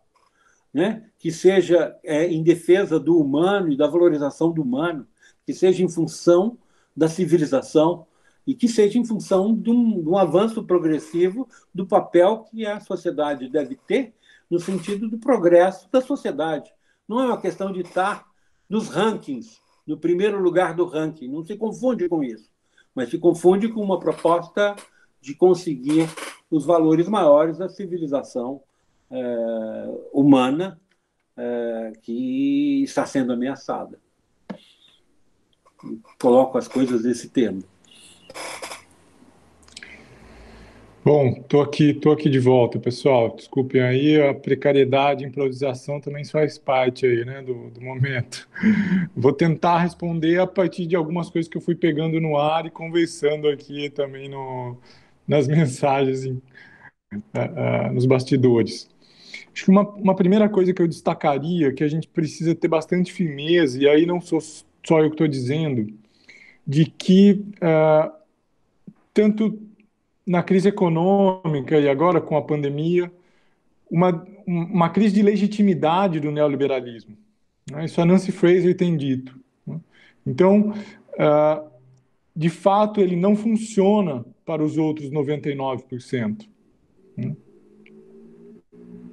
E isso, no nosso caso, tem ligações íntimas e intrínsecas com uma, com uma necropolítica. Né? Como o, o Paulo César estava dizendo, então, a gente vai ter que se colocar nesse lugar de quem uh, põe em circulação um outro princípio estruturante da vida social. Eu acho que esse é o papel da solidariedade, do cooperativismo, e que pode e também uma outra experiência de liberdade, né? uma liberdade que uh, uh, uma liberdade onde de um possa garantir e fortalecer a liberdade de todos, de todas e todos.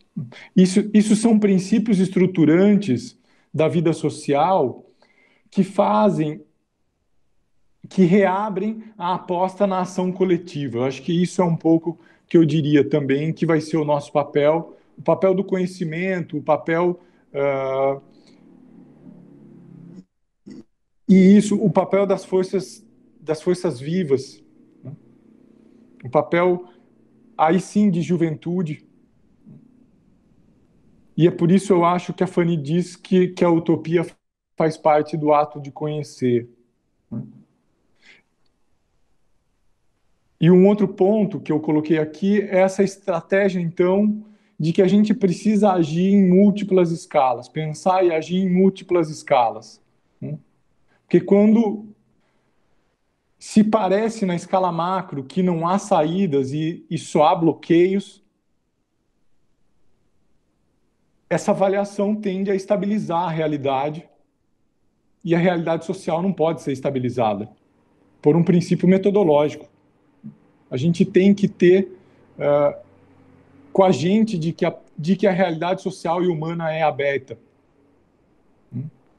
de que ela é dinâmica, passível de se fazer história.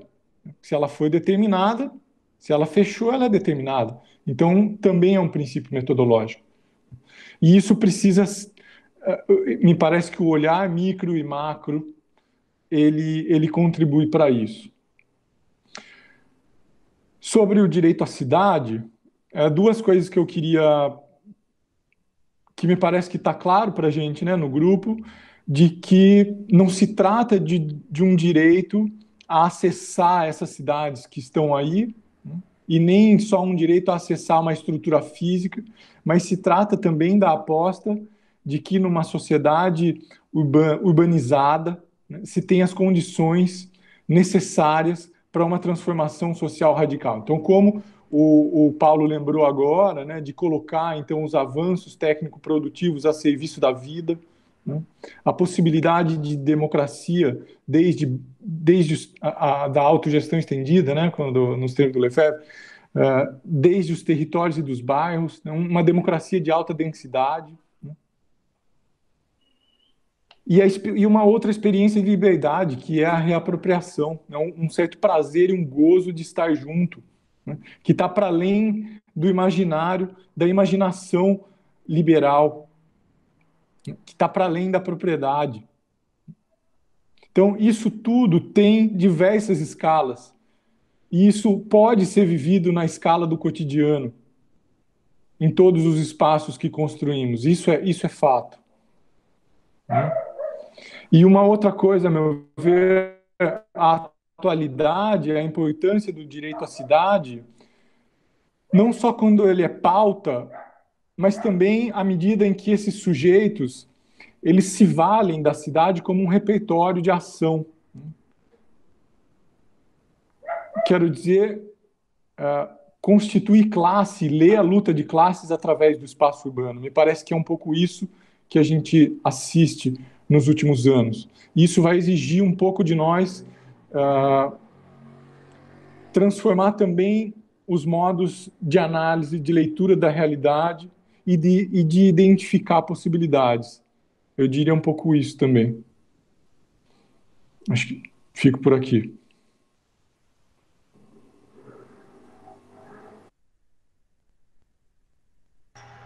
Eu tenho uma pergunta, Sibeli, eu vou responder agora? Tá. Uh, bem, a pergunta que eu recebi é é, gostaria que a Ana Fanny comentasse sobre os, olhar, os olhares possíveis para a vida cotidiana no contexto da pandemia, cotidianeidade, programação e racionalização, mas também do ponto de vista das possibilidades colocadas quando o cotidiano é interrompido. Bom, Isso. o que eu tenho a, a, dizer sobre isso é o seguinte: bom, o cotidiano ele contempla uma contradição. Né? Então, como mesmo, como está posta, inclusive, no enunciado da pergunta. Né? Então, de um lado, o que, que é o cotidiano? Um lado, o cotidiano é o lugar da norma, é o lugar da coesão, é o lugar da opressão que vem de cima para baixo. Né? Nesse momento de pandemia, o que nós estamos percebendo é que esse cotidiano vai se reproduzindo exatamente dentro dessa lógica, né?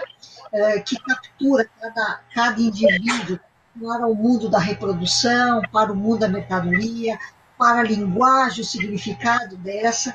É, a vida cotidiana, ainda nessa pandemia, ela é, ela é completamente, ou, ou, ela é parcialmente cooptada. Então, o que, que nós temos? Nós temos as redes sociais, não é? explicando para todo mundo como é que você tem que se vestir uh, para ficar em casa. Uh, os chefes explicando, os chefes uh, gourmets, né, explicando o que você vai cozinhar na época da pandemia.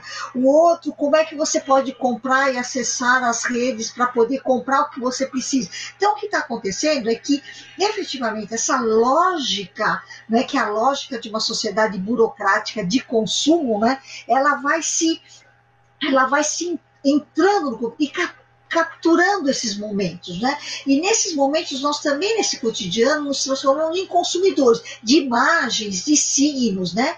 Uh, dessas pessoas que aparecem nessas suas casas maravilhosas como se fosse do outro mundo, né? Um, trazendo modo de viver, trazendo as festas que podem se se reunir uh, e podem se realizar mesmo no momento de isolamento, né? Então esse cotidiano vai sendo invadido por essa tragédia, né? De uma sociedade um, que é uma sociedade de consumo, que age nessa direção e que faz com que o, o, o ter coisas, né? Mesmo na pandemia, o ter ainda, ainda ela vai constituindo a relação entre as pessoas, né? Então, uma cantora aparece com pijama, uh, que não é qualquer pijama, né? Uh, e aí as pessoas querem comprar o tal pijama, inacessível pelo preço do pijama, né? Mas tudo está sendo invadido por isso. Agora, efetivamente o cotidiano também é outro disso, ele é o outro dessa captura, né? Então, por exemplo, a solidariedade que vai surgindo nas redes sociais é profundamente importante. Por exemplo, há relações de vizinhança, de vizinhança, principalmente nos prédios, que estão sendo construídas a partir do fato de que as pessoas estão em casa. É? Então, como é que as pessoas passaram a estar mais próximas umas das outras? Né? Então, nesse ponto, a tecnologia, né, as redes sociais, estão permitindo as pessoas conversarem, estão permitindo as pessoas. Por quê? Porque, de repente, nós temos uma coisa que é comum a todos, que é o fato de que está todo mundo, em tese, lutando pela vida, não é? E, e as pessoas se sentem sensibilizadas com esse fato, não é? Então, há um, esse laço de solidariedade que une as pessoas e que acaba extravasando o limite único da, do debate sobre a pandemia, né? Uh, então, eu acho que esses laços se estreitam. Os laços familiares também se estreitam com a pandemia. Não é? O Milor Fernandes, eu sempre cito para os meus alunos uma frase do Milor Fernandes, que ele define família como as pessoas que têm a chave do mesmo lugar. Né? Então, de repente, todas essas pessoas que têm chaves estão no mesmo lugar. Então, relações familiares estão sendo reconstituídas. Né? Então, as pessoas podem sentar à mesa para, para uma refeição juntas. Né? Então, laços familiares estão sendo recompostos nesse momento. E, fundamentalmente, apesar do isolamento e apesar da pandemia, ainda a cidade é o lugar da insurgência. Então, o cotidiano ainda contempla essa insurgência. Então, quando a gente vê, e, que as redes sociais também estão colocando, que as pessoas vão para janelas, né? a janela passou a ser o novo limiar entre o dentro e o fora né? Uh, entre o dentro da casa, entre a vida privada e a vida pública. Então as pessoas vão às janelas, vão às varandas, né? saem né? Uh, nos, uh, na, no, nos seus quintais para bater panela, né? para se unir em relação ao questionamento da situação que nós estamos vivendo. Né?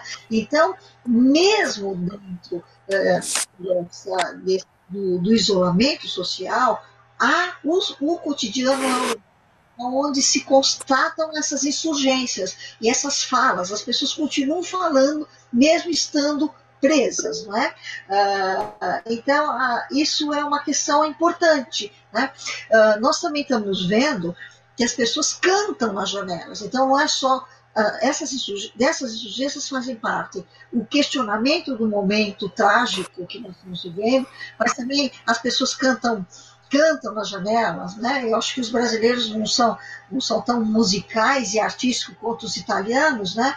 Mas as pessoas fazem reuniões e happy hours através das redes. Então, há momentos, por exemplo, em que a gente percebe que se não fosse as questões de isolamento, você não veria e falaria com pessoas uh, que você você fala hoje com pessoas que você não falaria, né? Então, eu acho que o cotidiano também tem sido um momento né, das pessoas encontrarem com os outros, falarem com os outros, se aproximarem, né? É, festejarem juntos, é, pela internet, né? Festejarem juntos. Então, o cotidiano ele, ele contempla essa riqueza, né? Então, o que significa dizer? O Lefebvre tem uma uma ideia que sempre me, eh, me instigou muito. Ele diz assim: o homem será cotidiano ou não será? O cotidiano, mesmo trancado, mesmo subsumido à lógica política, à lógica da mercadoria, ele é o lugar aonde uh, o homem se realiza, pode realizar esse ser humano.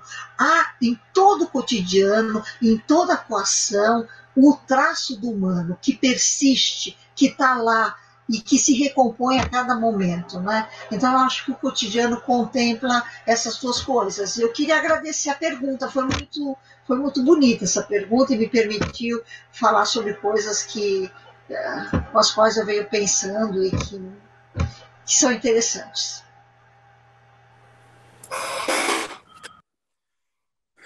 Eu gostaria de comentar uma coisa que um aspecto disso que você falou, e mais retomando a questão das escalas que o Paulo colocou. Quer dizer, na verdade, quando você ressalta o cotidiano, estou entendendo que você está ressaltando uma das escalas. E eu estava pensando que nessa questão do cotidiano tem níveis, tem dimensões que a gente deveria recuperar, e, e é, portanto, recuperar do ponto de vista de vista urbano, recuperar a perspectiva do espaço, da produção do espaço. Então, uma das dimensões que se poderia e que se deve avançar é o pensamento sobre a produção não mercantil do espaço. Ao nível imediato, o que, que se pode produzir sem que, sem que se torne uso, sem que seja valor de uso, sem que se torne valor de uso, que se seja um uso da comunidade que seja um uso das pessoas que estão, dos habitantes. Quer dizer, que não se transforme em valor de troca, ou que resista a isso. Essa é uma possibilidade de fazermos ao nível da produção imediata. Ao nível do global, que não seja uma coisa mercantilizada, que não se coloque como mercadoria, mas se coloque no ponto de vista da solidariedade e da cooperação, quer dizer, do ponto de vista da produção global do espaço. E da produção do, é, total seria exatamente isso que a Fanny ressaltou do ponto de vista do, da destruição do fetiche do consumo, da, do resgate é, do valor de uso, da, das trocas não mercantis e da possibilidade do gozo, como diria o, o nosso colega Recaman, sempre ressaltando as, as virtudes evirtianas do devir da sociedade urbana do ponto de vista do urbanismo. Me parece muito interessante isso, mas nós é, percebemos essa tríade do imediato, do global e do total na produção do espaço, que é muito próprio de uma teoria urbana que tenta vencer ou superar esse cotidiano fetichizado que é imposto por regras, por normas, e que nós temos que ter uma atitude progressiva, humana, né, e que permita avançar o processo civilizatório no sentido de produzir um espaço que seja inteiramente de todos, inteiramente de uso do humano, que não é o que está acontecendo. Essa que eu vejo a possibilidade, a virtualidade, vamos dizer assim, da nossa produção em termos de ciência, em termos de tecnologia, em termos de inovação, que pode ser aplicado no ensino, que deve ser levado às atividades de extensão e, sobretudo, deve ser é, pesquisado, avançado no sentido de fazer essa mediação entre a urgência, as emergências que a sociedade tem que responder e a possibilidade dela pensar um dever urbano, um dever de uma sociedade que seja melhor para todos, né? seja mais humano. Nesse sentido que eu colocaria, eu colocaria essa questão e as questões que foram apresentadas sobre o direito à cidade e as primeiras questões postas pela Cibele. Então, é, na verdade, eu não recebi mais nenhuma outra questão por e-mail, É, então, eu queria saber se vocês não querem fazer os últimos comentários para que a gente possa, enfim, ir caminhando para o final desse, desse debate, que eu considero que foi muito rico, que eu considero que foi realmente excelente. Também pela ordem, Fanny.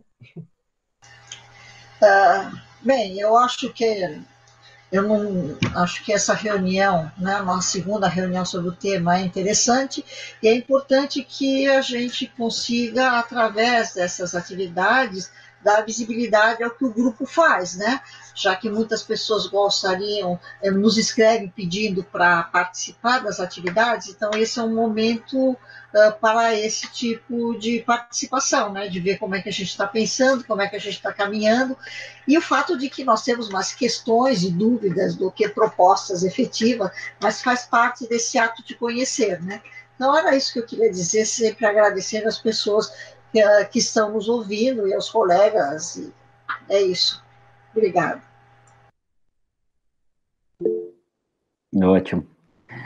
É claro que depois das, dos comentários, além de agradecer, dá vontade de comentar o que os colegas acabaram de falar, né? Primeiro, eu queria Você agradecer. Pode, Gustavo.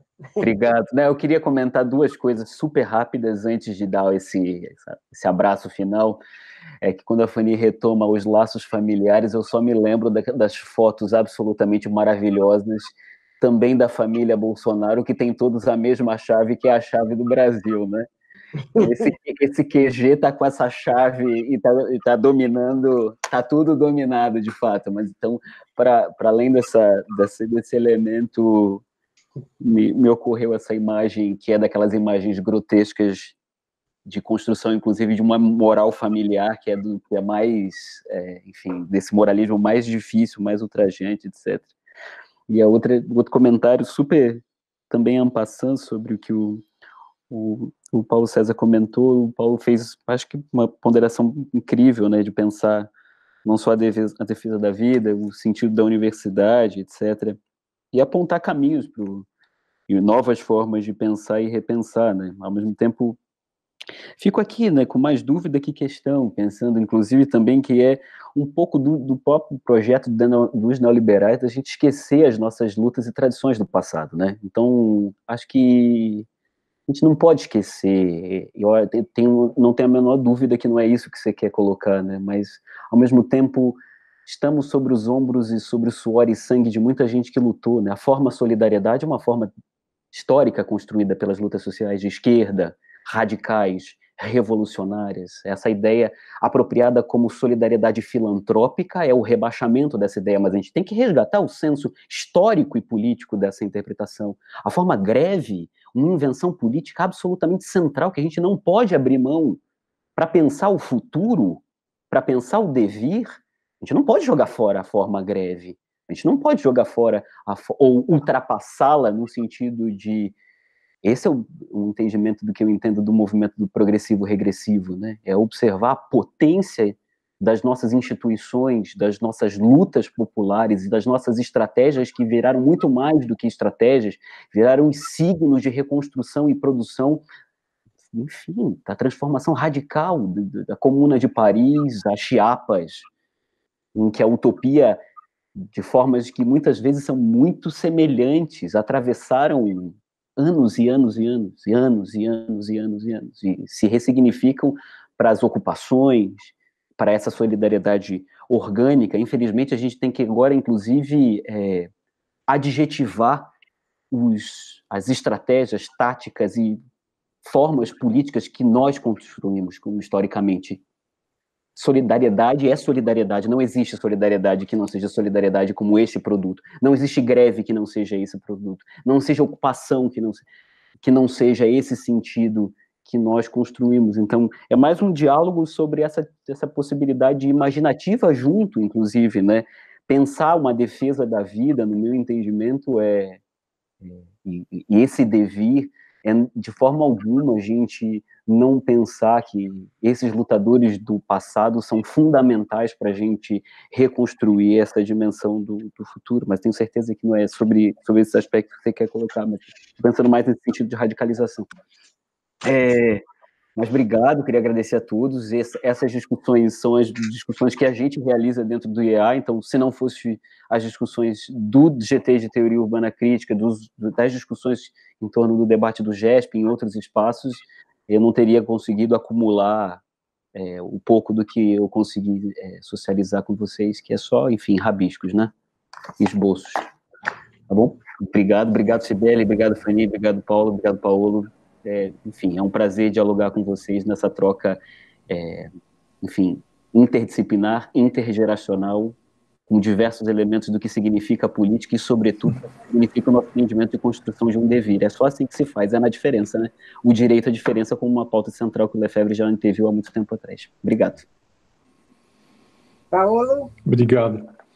Uh, eu queria só colocar alguns pontos, então, para terminar também, como nesses momentos difíceis a gente vai precisar. Uh, e isso tem um pouco a ver, eu acho, com esse momento que eu estou de voltar, então, para um departamento de arquitetura e urbanismo e agora uh, nessa nesse lugar ainda novo para mim, não mais como pesquisador, mas como professor. E que parece que a gente vai ter que agora, nesse momento difícil, retomar uh, um modo de pensar em deslocamento, pensar também com o corpo e, e pensar e formular juntos. Pensar, uh, uh, isso, vai, isso significa retomar uma aposta na educação. Né? Pensar e conhecer junto com esses sujeitos com quem a gente está lidando e construindo essa realidade que ganha efetividade coletivamente. E na, na escala micro, para mim, isso significa construir com alunas e alunos essa realidade desde o aqui e agora. E aí, por isso, passa por uma retomada, e uma, uma retomada não, uma convicção muito firme e tenaz sobre a possibilidade da educação transformadora. Esse é um primeiro ponto. E um, e um segundo ponto, acho, num momento difícil, é que o pensamento crítico tem que colocar hipóteses. Ele tem que colocar. É, pensar o possível significa pensar hipóteses, colocar cenários. E isso também se constrói coletivamente. E isso que eu estava dizendo sobre pensar em deslocamento significa que não vamos, a gente, a gente vai estar tá junto. E isso já é um pouco demagógico dentro da esquerda, mas eu não, eu quero dizer, nós vamos juntos identificar onde, onde estão as forças vivas, né? Porque a gente às vezes sozinho e pensando aqui dentro da minha sala, eu nem acredito em tudo que eu falo. Mas quando eu estou junto, quando eu estou na rua, ou quando eu estou numa sala, ou conversando com outras pessoas, eu volto a acreditar e volto a ter certeza. Né? E eu volto a ter certeza de uma premissa metodológica, de que a realidade social e humana é aberta. Então, na verdade, eu estava errado quando eu estava pensando sozinho e achando que a, que a, que a realidade é fechada e bloqueada. Né? Então, é, eu acho que é, é, a gente vai ter que é, dobrar essa aposta nessas tessituras que eu que eu estava falando como princípios é, vinculantes, estruturadores de uma vida social que aí sim é uma vida rica, abundante, de potências vitais abundantes. Né? Isso é o contraste em relação à necropolítica. Isso nos faz tranquilos de, de quem nós somos, onde queremos estar. Né? Porque aí sim fica claro para a gente que o nosso, o nosso contraste com o conservadorismo, que é rancoroso, né? é destrutivo, né? é regressivo. Né? Então, acho que é isso. Obrigado. Eu gostaria de tomar esse ponto que, que o próprio Paulo colocou, quer dizer, esse pensar só não é um pensar isolado e nem alienado. é exatamente a possibilidade de recuperar no sentido dos valores históricos e sociais do movimento, é, como apontou o Gustavo, a solidariedade é um valor histórico do movimento social, da luta daqueles que nada tinham e, e, e foram é, buscar uma sociedade, construir uma sociedade melhor. Né? A ideia da, da, da, solidariedade é um valor importante, é um valor importante a ser posto ao nível do processo de produção do espaço.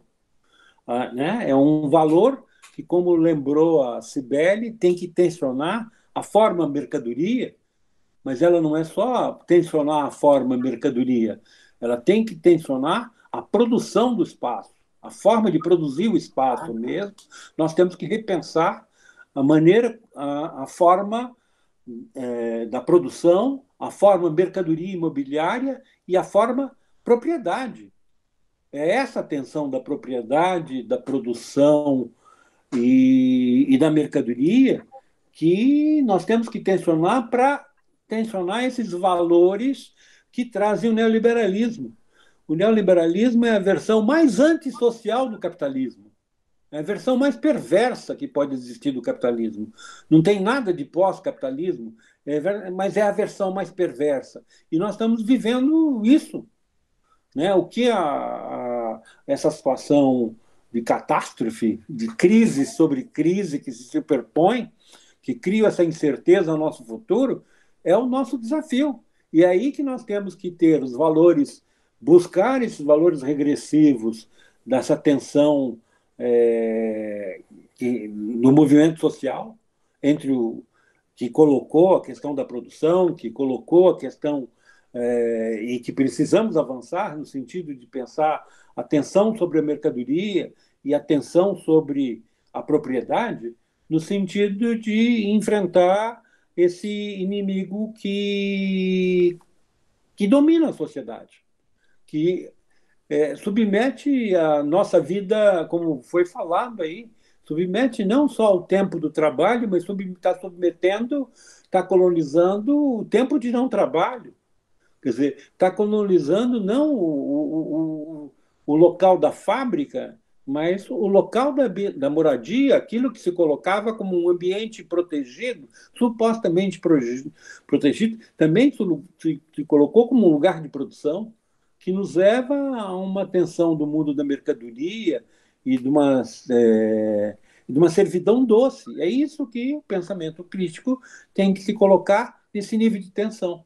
E a tensão para nós dentro do ponto de vista que nós estamos trabalhando e que eu creio que a gente tem possibilidades ainda de oferecer avanços e de tensionar, é tensionar a produção do espaço, ao nível do imediato, ao nível do global e ao nível total. Cada um com a sua especificidade, no sentido de romper com esse cotidiano regressivo, desse momento de regressão, que, o, que as formas e as forças neoliberais é, inclusive armadas, como mostrou o Gustavo, no sentido militar e miliciano é, das questões, está nos levando a uma situação que torna esse desafio tão importante quanto é a doença do coronavírus. Quer dizer, é, tanto na relação que eu pus entre as relações das pessoas que enfrentavam a, a, clandestinidade na época da ditadura, nós temos que,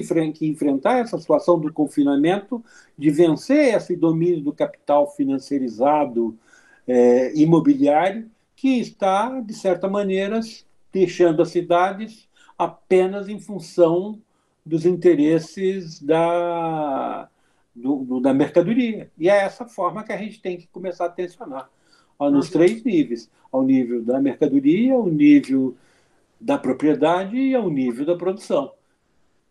E ao nível da produção do espaço, pensando o urbano, pensando a possibilidade de avançar o direito da cidade e de defender a vida, defender o urbano, defender o prazer, defender essas coisas todas que nós estamos muito carentes, que a sociedade brasileira está carente. É esse o ponto de vista que eu acho que nós temos que defender e continuar produzindo criticamente é, o conhecimento que a sociedade brasileira precisa. É isso. Então, queria agradecer a todos é, e reafirmar a ideia de que o que a gente tem nesse grupo é exatamente uma experiência coletiva de pensar juntos, né? É exatamente uma possibilidade de diálogo, de reflexão coletiva, é, do, da qual nós, nós estamos efetivamente muito carentes, sobretudo porque essa dimensão coletiva é a medida da nossa própria realidade, né? É o grande teste daquilo que a gente pensa, daquilo que a gente propõe, daquilo que a gente imagina. E também queria lembrar, sobretudo para o Gustavo e para o Paulo, né, de, de outra geração, como eles mesmos colocam, que o anjo da história está de costas para o futuro. Ou seja, que cada geração é, realiza e traz para si as promessas que as gerações passadas fizeram, suas formas de luta, seus horizontes utópicos, sua vontade de produzir uma vida melhor, mais justa, é, e, enfim, uma cidade que possa, de fato, de fato, realizar a utopia do direito coletivo a ela. Então, eu queria encerrar agora esse debate e queria abraçar vocês virtualmente, tchau, com essa experiência intergeracional, inter, interprofissional, interdisciplinar. Beijo para todos. Tchau. Beijo, pessoal. Obrigado também. Também estou abraçando vocês aí. Beijo, Tru. Tudo de bom, hein? Beijo para todos. Saudade, saudade. Alegria, alegria. Tchau, tchau.